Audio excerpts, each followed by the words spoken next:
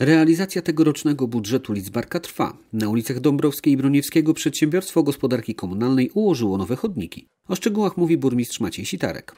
Za kwotę około 100 tysięcy złotych w tym roku powstaje druga strona ulica Marii Dąbrowskiej. Jest to długo wyczekiwany przez mieszkańców chodnik. Co pokazał ubiegły rok, E, mieszkańcy czekają na to, aby uporządkować teren także wzdłuż ich posesji, e, a także tym samym zwiększyć bezpieczeństwo funkcjonowania tej drogi osiedlowej, bezpieczeństwo osiedla e, działki.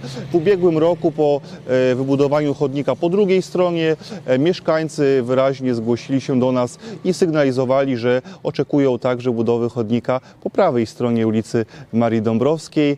Cieszę się, że udało nam się zrealizować tę obietnicę. E, i ten chodnik właśnie w tym roku powstaje.